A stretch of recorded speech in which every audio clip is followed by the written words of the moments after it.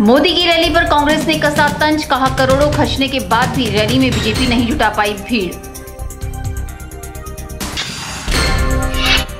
Police line मंडी में नशीले पदार्थों की खेप को किया आग के हवाले, एसपी मंडी ने नशा न करके स्वस्थ जीवन को अपनाने का किया आह्वान।